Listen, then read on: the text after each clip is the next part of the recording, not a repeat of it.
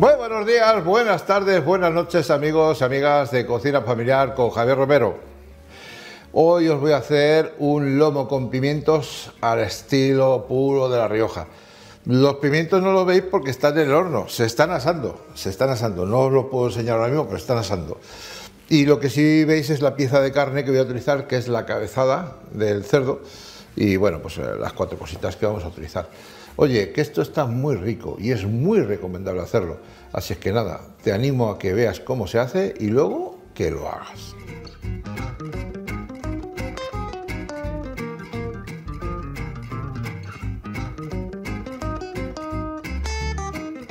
Lo primero que tenemos que hacer para tener pimientos asados es asar los pimientos. Bueno, aquí tenéis estos pedazos de pimientos.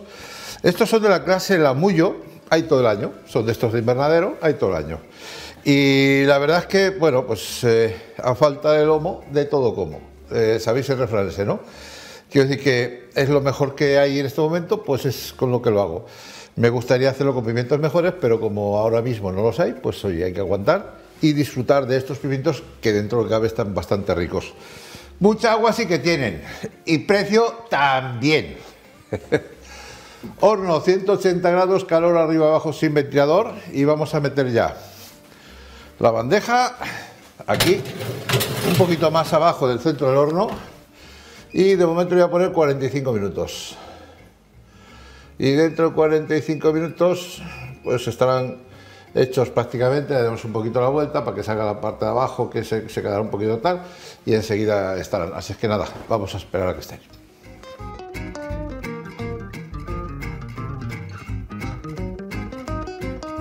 Bueno, esto huele muy bien. ¿eh? Los pimientos cuando los asas en casa huelen de maravilla. A mí es, un olor que me encanta. Me encanta. ¿Qué queréis que os diga? Bueno, mirad. Bueno, aún le queda bastante, ¿eh? Estos son pimientos muy grandes. Vamos a dar un poquito así la vuelta. ¡Jo, jo, jo, jo! ¡Qué maravilla! A ver, así. Eh, es que los muevo un poquito así porque parece que no, pero los hornos no funcionan siempre igual. ¿eh? Eh, a ver, aquí. Eh, ¡Uh! ¡Qué quema!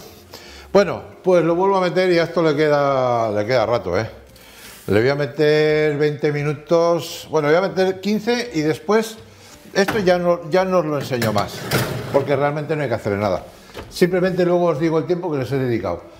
Pero os voy, a, decir una cosa, no, no tengáis en cuenta el tiempo exacto que yo os diga, siempre son orientativos, porque los pimientos nunca son iguales. Eh, pueden ser más grandes, más pequeños, más tiernos, menos tiernos, y se asan antes, se asan después. Yo os voy a decir cuánto me ha costado asar estos, y como orientación os sirve, pero siempre tendréis que estar pendientes. Bueno, 15 minutos más, y así tendremos 60 minutos, una horita. Ya iremos viendo.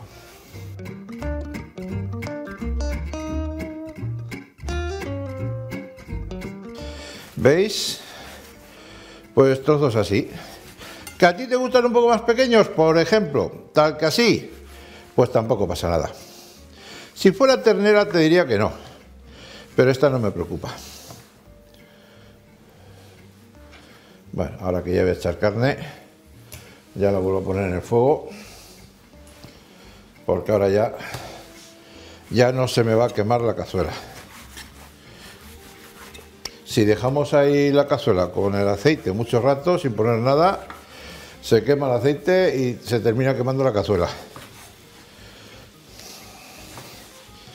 Bueno, ¿veis? Esto se puede hacer en casa perfectamente. Si no lo haces es porque no quieres. No te lo puedo dejar más claro. Y ahora, eh, de momento, pongo la carne con un poquito de sal. Y mientras se va cocinando, iré pelando y picando ajo y cebollas. Pero eso, lo vemos más, más tarde. Bueno, vamos a coger esta misma.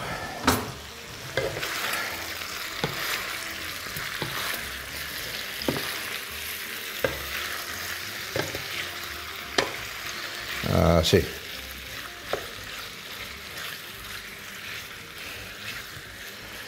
Bueno, voy a darle fuego que en realidad aquí hay mucha comida y esto soporta mucho más cantidad de fuego que la que le tenía yo puesto.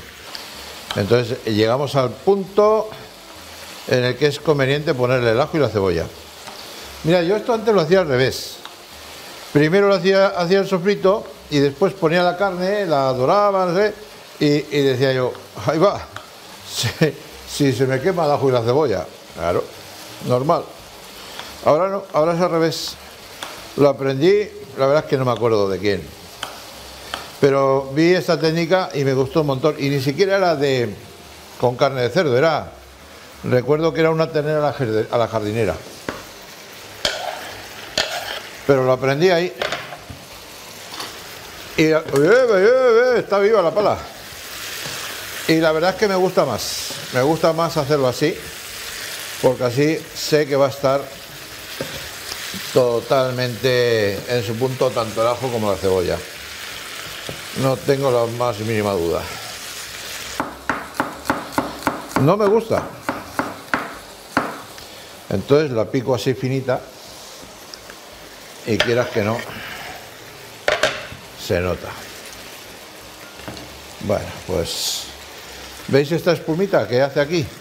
Esta espumita es aceite con agua, con agua, agua que va soltando la carne. Bueno.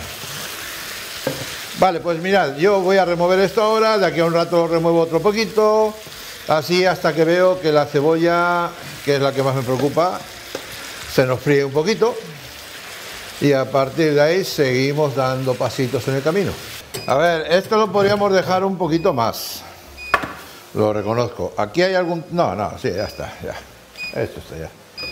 Algún tramito, dices, bueno, pues parece que puede estar, que le falta, que le falta un poquito.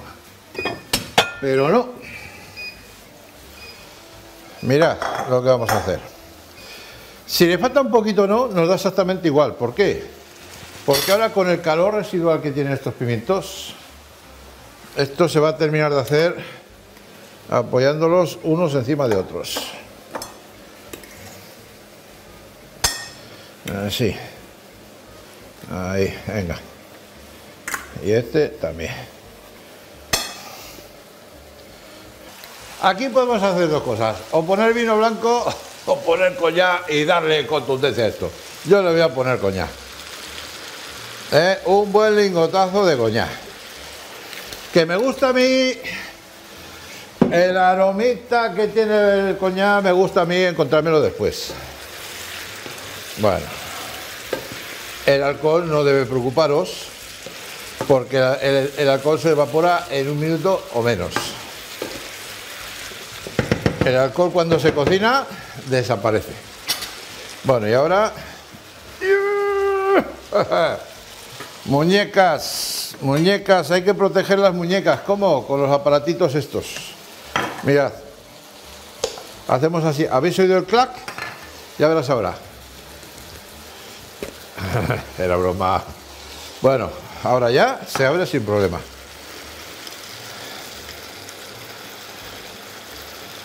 Bueno, pues vamos a poner. Bueno, pues para esta cantidad yo creo que le voy a poner, a ver, una, dos, tres, cuatro, cinco, ocho. Ocho cucharadas soperas de tomate. Lo pongo ahí y ahí me aseguro que todo el tomate que tiene en la cuchara lo voy a utilizar. Removemos un poquito, como es tomate frito, no nos preocupa. No nos preocupa para nada. Bueno, ojo, esto está muy dulce, ¿eh? Muy dulce quiero decir que no le he puesto picante. ¿Qué hacemos? ¿Le ponemos un poquito picante o no le ponemos? En cualquier caso, lo dejo a vuestra elección, cada uno en su casa, que haga lo que crea conveniente. Si quieren poner un poquito picante, pues genial. A ver, yo le voy a poner un poquito de pimentón picante. Ahí, un toquecito que vamos a hacer que esto tenga alegría. Un poquito de sal le voy a poner también. Y ya al final probaremos a ver si le falta algo de sal o no. Y ya le pondremos. Bueno, esto va cogiendo unas notas importantes, ¿eh? De color, de aroma. Fijaros que ahora ya la carne prácticamente ocupa el fondo de la cazuela, ya no, ya no hay tanta remontando. Pues vamos a poner agüita. La cubro así un poquito, ¿eh? así. No hace falta que se cubra del todo. Y esto ahora ya lo vamos a dejar cocinando 30 minutos. A los 30 minutos empiezo a observar. Le voy a bajar fuego. A ver, yo estoy convencido que le va a costar más de los 30 minutos, evidentemente. Pero ¿qué ocurre? Que hay veces que las carnes son demasiado tiernas y nos sorprenden. Así es que a partir de 30 minutos controlamos. Pero no queréis, ¿eh? esto, esto quema todavía. Bueno. Con paciencia. Lo podía haber, haber asado un poquito más, pero ya os digo que hubiera ganado en facilidad a la hora de pelarlo, pero se me hubiera ido mucho, mucho pimiento. ¿Eh? Se me hubiera ido mucho pimiento en. se me hubiera convertido en agua, que es lo que pasa cuando asas de más los pimientos. Si tienes mucha agua de pimientos en la bandeja, mm, la cosa, la cosa, en fin, que has perdido, has perdido, has perdido mucho pimiento ahí. Bueno, pues ya está. Pues ya veis lo que es. Este es el más, el, que he cogido, he ido a coger el más difícil, pero bueno, ya veis que aquí ¿eh? sale la pielcita bastante bien. Bueno, vamos a ver, vamos a abrir aquí por el centro. Vamos a sacar piparra. Esta pipa hay que sacarla siempre del pimiento, ¿vale? Vale. Bueno, y entonces, mirad, ahora, esto que ya está, que está pelado, aquí. Esto de aquí, que también está pelado, ¿eh? Aquí, a ver. Y ahora esto también, este trocito también estaba pelado. Hasta aquí también está pelado. Le quitamos todo esto siempre que se pueda. Me quema. Y ahora le doy la vuelta porque ahora la piel está por aquí abajo. Mirad, pues, fijaros. Fijaros qué bien sale, ¿eh? Quieta ahí, quieta ahí. Y vamos a echarle el pimiento por encima. Esto ya lo, retiro.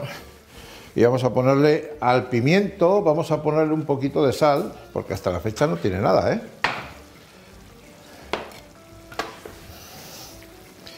Venga. Sazonamos el pimiento y removemos.